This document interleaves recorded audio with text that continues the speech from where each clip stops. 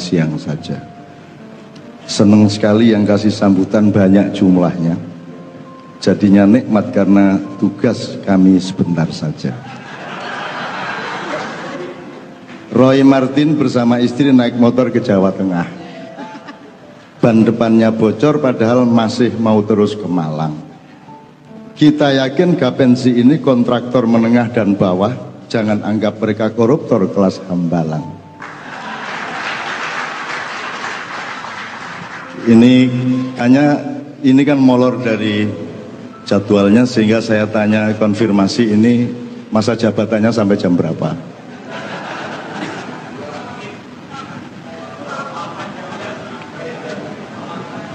Oke, Bapak sekalian, saya akan memulai dengan karena ini halal bihalal, saya ingin mengemukakan beberapa hal mengenai halal bihalal supaya kita ingat bersama bahwa halal bihalal itu hanya ada di Indonesia. Di Arab tidak ada, di Timur Tengah tidak ada, di Pakistan tidak ada, di mana-mana tidak ada. Itu karyanya Bung Karno. Jadi pokoknya kalau di Arab itu ya Idul Fitri sudah selesai. Sholat sudah selesai, setelah itu nonton film porno lagi. Uh, kalau di Indonesia ono kupatan, ono macam-macam lah. Kita masih menerjemahkan hari raya itu ibarat Idul Fitri itu ibarat puasanya itu benih padi, Idul Fitrinya itu padi, kemudian kita masak menjadi halal bihalal berhari raya itu nasinya kira-kira seperti itu. Ini halal bihalal bahasa Arab perkata, tapi kalau digabung menjadi bukan bahasa Arab. Jadi ini betul-betul orang Arab bingung nih. Termasuk malaikat Jibril waktu datang pertama ke Indonesia, apa kira? Kok halal bihalal ini? Halal memang bahasa Arab, bi juga bahasa Arab artinya dengan. Tapi kalau digabung halal bihalal idiomatik seperti itu tidak ada di dalam bahasa Arab. Tapi maksudnya jelas lah. Pokoknya dengan kita berhari raya, berhalal bihalal, sawalan seperti ini kita mencoba ridho dan ridho satu sama lain saling memaafkan. Kata-kata mohon maaf lahir batin juga hanya ada di Indonesia. Itu, itu juga lucu mohon maaf mohon maaf. Mosok mohon maaf lahir tok mosok mohon maaf batin tok. Kan juga gak, iso. Nek nek mohon maaf mohon maaf ya mesti lahir karo batin sekaligus. Jadi mohon maaf wis cukup jane. Tapi wong Indonesia lah seneng bojo akeh dadi mohon maaf ditambah lahir karo batin kan gitu. Masih duduk bojo tapi yang simpenan akeh terutama nek wis gajine meningkat uh, Bapak-bapak sekalian di dalam Islam yang kita kenal sebenarnya ridho bir ridho itu pun sebenarnya idiomatik yang paling ada di dalam Al-Quran itu rodiyata mardiyah. Jadi Anda sama Allah kan tiap hari mencari ridho, tapi sebenarnya Tuhan tuh tidak repot-repot amat kasih ridho, jadi mudah cari ridho. Nya Allah tuh gampang sekali, asal berbuat benar ya dapat ridho. Yang susah itu Anda ridho sama Tuhan. Yang susah itu kalau kerjaan kita membuat pusing, terus kita tidak bisa terima keadaan ini. Padahal keadaan itu sudah terlanjur terjadi dan kalau hal sudah terlanjur terjadi berarti dia ada empat kemungkinan.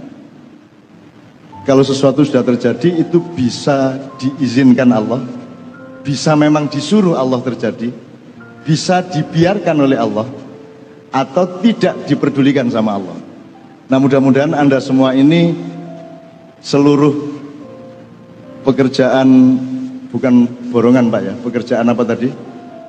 Kontraktor tadi itu mudah-mudahan perintah Allah. Jadi kalau dapat proyek itu perintah Allah. Kalau sebab kalau hanya diizinkan Allah, Allah itu sebatas mengizinkan tapi dia tidak punya kewajiban melindungi Anda.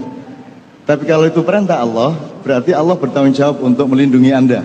Itu loh. Jadi kalau upama terpaksa nyogok itu Allah ikut memberi ilham kepada yang memeras Anda. Itu kan? Jadi Allah kasih hidayah kepada yang memeras Anda. Sebab di Indonesia ini yang disalahkan yang nyogok padahal sebenarnya bukan sogokan. Itu sebenarnya kan pemerasan gitu kan. Hakikatnya pemerasan, syariatnya sogokan. Nah orang Indonesia itu lebih berpihak kepada syariat daripada kepada hakikat. Jadi selalu kasusnya di pengadilan itu nyogok, nyuap. Padahal sebenarnya bukan nyuap itu. Sebab kalau tidak nyuap, ketika itu temen tanda tangannya ya. Ah, jadi sebenarnya hakikatnya pemerasan gitu Nah ini mumpung ada yang mewakili Pak Karwo, saya kira mulai tahun ini tidak ada masalah lah soal begitu-begitulah. Ya, tapi ya pada ngerti ini lah ya, cuma. Luga, soalnya ini orang Jawa, Jawa Timur pisan, ludruk pisan. Jawa tok wis wis nganyelno. Jawa Timur pisan. Ludrukan pisan wis nganyelno pol wis. Mulane Gus Dur iku sampai saiki karo Gusti Allah gak diurus, dijarno wis. Wis sakarepmu dur kon mlebu swarga mlebu sakarep-karepmu wis. Gimana angel-angel dur wis. Aku ngelu aku ndolek regulasi awakmu iki angel iki. Jadi akhirnya Gus Dur merdeka dia ke mana-mana sampai akhirnya dia sering ke Laut Selatan untuk berdakwah di sana dan alhamdulillah Nyai Roro Kidul sudah berhasil dibikin ber, berjilbab oleh Gus Dur. Amin ya rabbal alamin. Ini ini saya serius ini. Waktunya banyak ini. Sing ngarani bebek sopo ya? Soalnya ini orang Jawa, Pak. Orang Jawa itu ya orang Indonesia lah, orang Nusantara lah. Iya belum tentu iya, tidak belum tentu tidak. Meskipun sudah aturan baku itu masih bisa bolong, masih bisa bocor. Karena ya apa ya, wong proklamasi ini bocor. Dari semua kalimat reformasi, eh apa? Proklamasinya Bung Karno itu, yang terpenting tuh kata-kata DLL-nya itu loh Pak. Dan lain-lainnya itu yang berlaku. Liane kita penting dan lain-lainnya kisah medeni. Itu. Jadi pada suatu hari pasukan Islamnya Rasulullah itu kan menang perang di Mekah. Ini puncak dari perjuangan 23 tahunnya Rasulullah. Setelah menang perang, ini yang namanya kalau sekarang disebut Valentine Day di dalam Islam disebut Yaumul Marhamah. Yaumul Marhamah itu hari kasih sayang. Kalau Yaumul Malhamah pakai L, yang Bapak tadi mengatakan awas, nek pemborong ojo sampai jadi pembohong Bapak ya. Nek yaumul malhamah lahmun itu artinya panganan. Nek yaumul malhamah berarti kon dipangan kon gak dipangan kon yo matek kon yo. Nek gak saene gak tak tanda tangani kon yo. Itu namanya yaumul malhamah. Nek yaumul malhamah lahmun itu artinya panganan. Nek yaumul malhamah berarti kon dipangan kon gak dipangan kon yo matek kon yo. Nek gak saene gak tak tanda tangani kon yo. Itu namanya yaumul malhamah. Tapi kalau L-nya diganti R berarti hari kasih sayang. Nah mudah-mudahan dari birokrasinya Pak Karwo nanti yang muncul adalah almarhamah bukan almalhamah kan gitu ya. Amin ya rabbal alamin. Nah karena Rasulullah menerapkan yaumul marhamah terus dia pidato kepada pasukan Islam yang menang yang menjaga pasukannya Abu Jahal beribu-ribu yang diselending. Diselending itu di di borgol.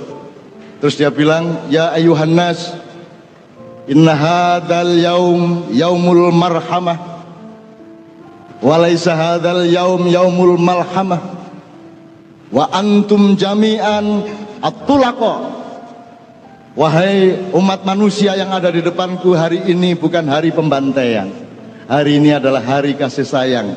Kalian yang ditawan, kalian yang tangan dan kakinya diikat akan dibebaskan dan kalian boleh pulang ke keluarga kalian masing-masing. Dibebaskan. Pasukan Islam bingung loh, iki niki gelut setengah mati saiki bareng wis kalah kabeh dibebaskan. Kadang kanjeng Nabi gak leren pidato nih. Dan tidak hanya aku bebaskan, wahai pasukan yang tadinya melawan aku, aku balas kalian dengan kasih sayang. Pergilah kalian pulang melalui beberapa pintu untuk menerima harta benda yang kami peroleh dalam peperangan ini kami kembalikan kepada kalian. Ono sing oleh unta, oleh pedus, oleh oleh emas, oleh perak sapi turute. Jadi akhirnya pasukan Islam sibuk melepaskan musuhnya dan dibagi bagiin harta benda. Pasukan Islamnya gak oleh apa-apa.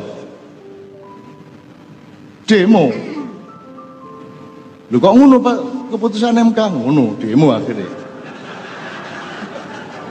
Apa hubungan dengan MK itu? Sebabnya sak pecorot-pecorot cangkem gue. Ya Rasulullah, bagaimana ini kok kami yang menang perang tidak mendapatkan apa-apa, yang kalah perang malah dibebaskan dan mendapat harta benda. Singkat kata Rasulullah, kumpul sini semua kalian. Kalian berapa lama bersama aku? Sudah bertahun-tahun ya Rasulullah. Menurut kalian aku, nabimu Muhammad mencintai kalian atau tidak? Semua menjawab, ya Rasulullah, engkau sangat mencintai kami. Oke, kata Rasulullah, kalau begitu silakan pilih. Kalian memilih pulang dari sini dengan harta benda, onta, emas, dan sebagainya. Ataukah pulang dari sini membawa cintaku kepada kalian. Wah, wong Arab nangis. Kami memilih cinta. Tidak apa-apa, tidak dapat onta. Yang penting cintamu aku bawa pulang ke keluargaku dan ke rumahku masing-masing. Iku mergo tentara Arab, tentara Jawa gak iso. Nggih cinta mosok mboten cinta Kanjeng Nabi tapi nggih mosok cinta tok. Alah nggih wedhus-wedhus ngoten lho lah. Wedhus itu dibagi lima nggih purun pun sikil-sikile ngoten lho. Ah, itulah kelonggaran Indonesia. Harap Anda tahu sangat tidak mudah di Indonesia.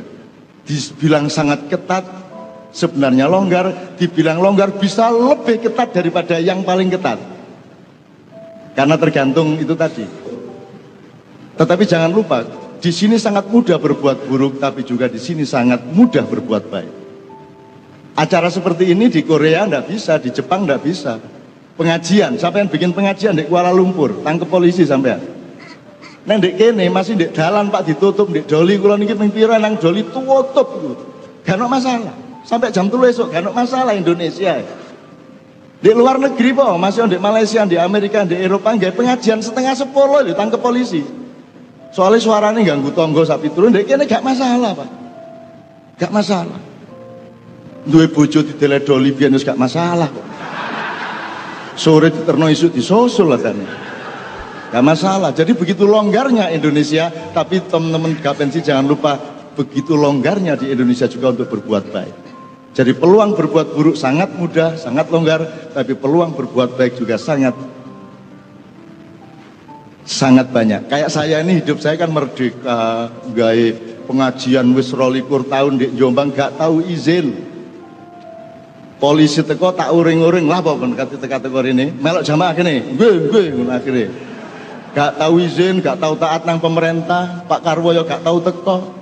Yo gak tau matur nuwun, rakyatnya diurusi, wis baba wis. Menene tak tagih di akhirat, ngono. Pak Pak Rod gurun swarga, sampean sampean kudu ndek kene kula sing mriko, ngono aku. Wong kula ngurusi Jawa Timur gak dibayari sampean dibayari larang niku sampean. Sampean ndek mriki man kula mriko. Terus Pak Karwan jawab, "Ojo ndek kene cak gak kancane." Ngoten tak nggih pun mriki bareng-bareng melok Gus Dur gak karu-karuan ndek endi kemang swarga tan neraka gak jelas.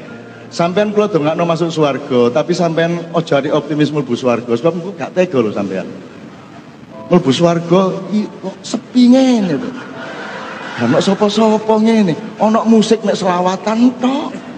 Jazz gak ono, dangdut gak ono. Bareng buka cendela, wah dangdutan ku apa di neraka iki. Wah, enak akhirnya malaikat kula melok mriko mawon pun wis.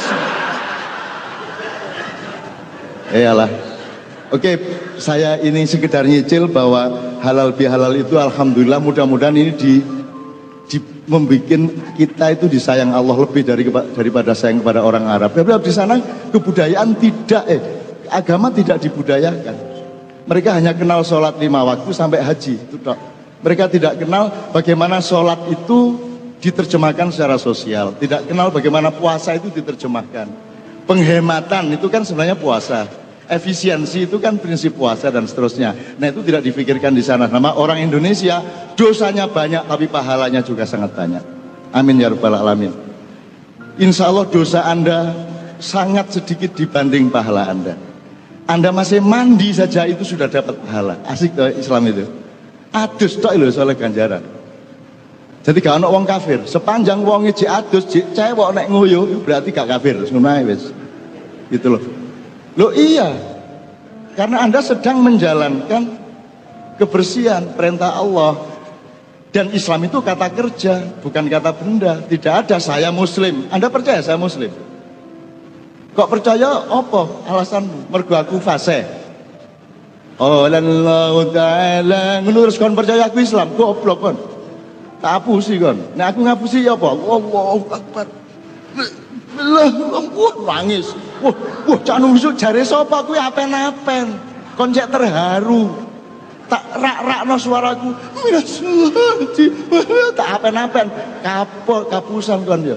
Jadi ojo ngarani wong kafir. Kon gak ruh wong kafir tak ojo ada ngarani wong musyrik.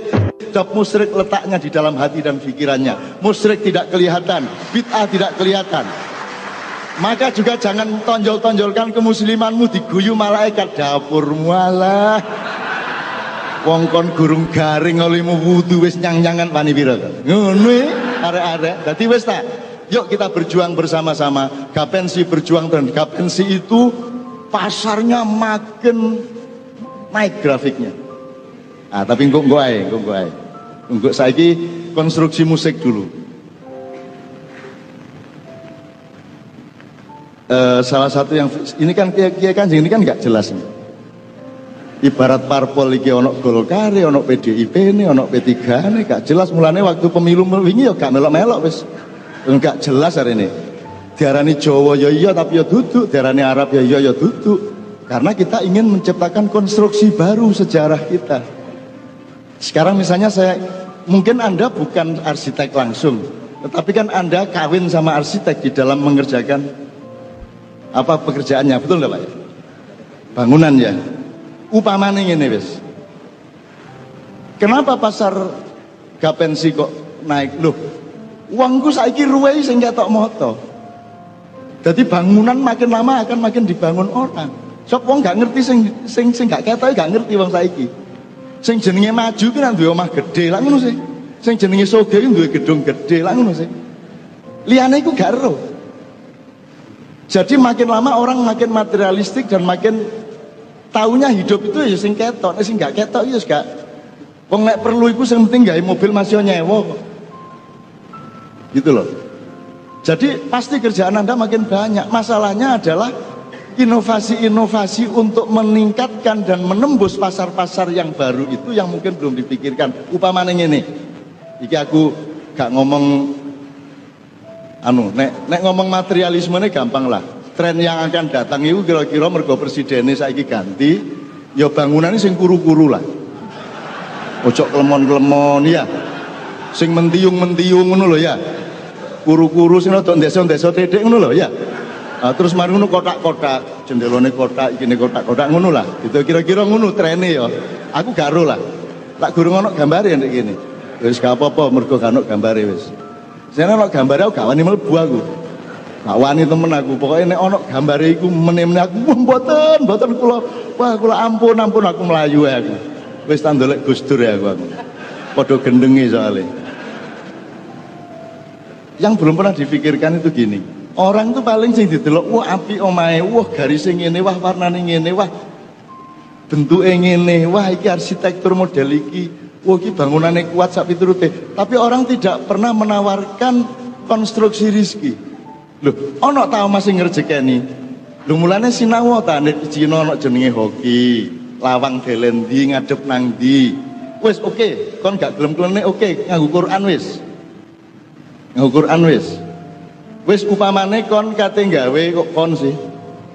Panjenengan gara-gara wong Jombang wis gak, gak jelas cangkemku ya sampean kate gawe iki rundingan karo arsitek ya sampean kate gawe warung restoran kira-kira tanpa merugikan budgetnya bagaimana kalau restoran ini dibikin ukuran-ukuran regulasi angka berapa meter berapa sudutnya berapa itu pakai Al-Quran. Nih kalau restoran ya suratnya Al-Ma'idah. Kalau Al-Ma'idah 120 ayatnya. Coba bikin yang serba 120, serba 1, serba 2 itu dibikin dibikin prinsip dasar dari rizki Al-Maidah. Kira-kira ono pengaruh gak? Lo sampean gak tak kandani. Kon keliru ndele meja ndek warung lho, payune kurang. Nek pas kalian dele. Nah, pas ini kan sudutnya berapa? Di situ di Quran ada semua. Nabi Sulaiman bikin istana pakai itu. Ya sekali dipelajari aja njaluk tolong aku. Larang iki nek tak kandakno ngawur ae ngono iku. Apa padha karo kursus jenenge ngene iki. Wis pokoke ngono iku lah kira-kira. Nek sampean kate gawe gedung PLN, gedung yang urusannya sama pencahayaan, ya pakai Anur. Kalau Anur ayatnya berapa? Berapa jumlah ayatnya? Kemudian ayat-ayat yang aksentuatif terhadap pencahayaan ayat berapa? Misalnya ayat 35. Coba pakai ukuran 35. Wes toh, jajal kira-kira beda tak gak rezekine sing nggo Sampai jajal wong gak rugi Gak rugi kok. Upamane ngene wis ngene. Wong saiki lah semakin modern tidak ngerti utara selatan, ngertinya kanan kiri. Untung Anda orang Jawa, jadi ngerti lor kidul. Mungkin sampai ngidul titik terus menggok ngulon. Jadi iso ndek kene. Di Jakarta ngomong ngono dijundu ndasmu.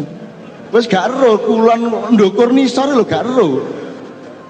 Aja meneka etan kulon. Jadi sudah tidak kosmologis, mereka sudah parsial, sudah sangat sempit.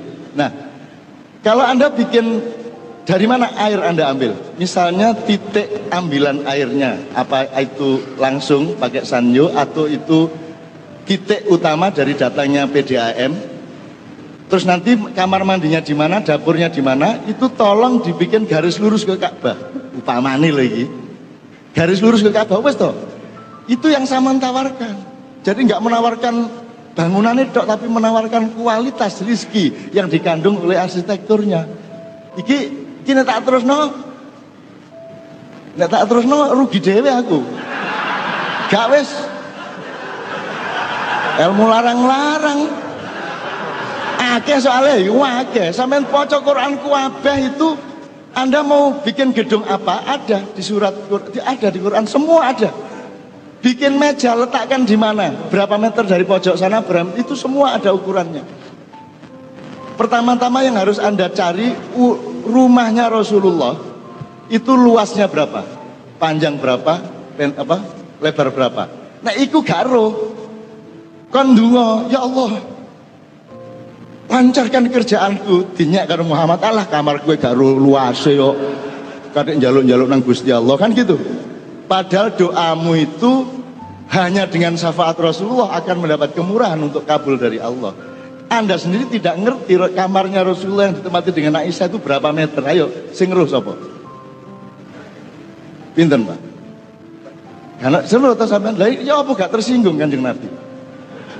Kon niku sembayang bolak-balik nyebut jenengku, kamarku gak ero.